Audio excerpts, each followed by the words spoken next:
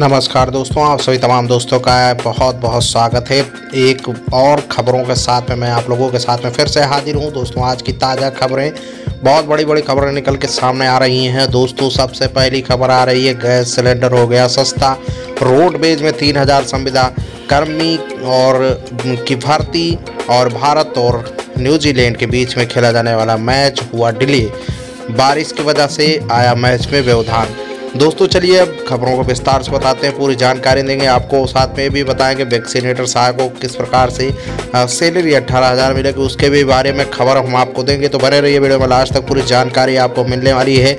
साथ ही में इस वीडियो में हम आपको ये भी बताएँगे कि आज जो मैच होना था, वो बारिश की वजह से डिले हो गया। भारत ने पहले खेलने की शुरुआत की, लेकिन मैच पूरा तरीके से हो नहीं पाया और मैच को बीच में ही रोकना पड़ा। दोस्तों, चलिए पूरी जानकारी देते हैं आपको। वैक्सीनेटर सहायकों की सैलरी में हो सकता है इजाफा और ऐसी खबरें आ रही हैं। रोडवेज़ में निकली, देख सकते हैं, तीन हज़ार नई वैकेंसियाँ और इनमें आप कर सकते हैं फॉर्म अप्लाई। अप्लाई करने के लिए आपको फिर से हम बताएँगे कि किस प्रकार से करना है। जिस जैसा कि मैंने पिछले वीडियो में बताया था, लेकिन इस वीडियो में हम आपको फिर से बता रहे हैं। चलिए आज की बड़ी बड़ी खबरों पर पहले नज़र डालते हैं।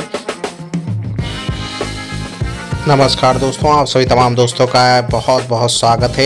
एक और खबरों के साथ में मैं आप लोगों के साथ में फिर से हाजिर हूँ। दोस्तों, आज की ताज़ा खबरें बहुत बड़ी बड़ी खबरें निकल के सामने आ रही हैं। दोस्तों, सबसे पहली खबर आ रही है, गैस सिलेंडर हो गया सस्ता।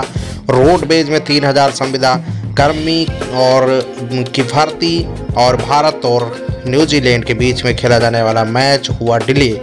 बारिश की वजह से आया मैच में व्यवधान। दोस्तों, चलिए अब खबरों को विस्तार से बताते हैं। पूरी जानकारी देंगे आपको। साथ में भी बताएँगे वैक्सीनेटर साहब को किस प्रकार से सैलरी अट्ठारह